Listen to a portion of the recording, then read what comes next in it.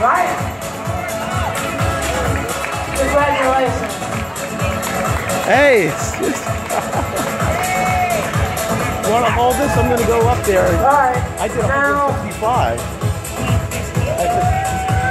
Again, this year, with 165 push-ups. I don't know how he does it, but he does it. Next year, we're going to teach him how to use our e-tapestry software. But anyway, he has done the most push-ups again this year. Congratulations, Bob. All right. All right.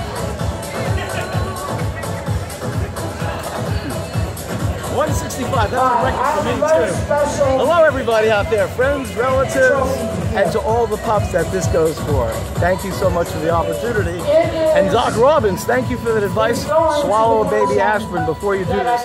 Give my heart a little bit of a break. I did get to talk to him before, before I got down. Okay, I think I think it cut off. Okay. Oh, it's still running, right? Oh, I don't. Yeah, but that's okay. I'll show you.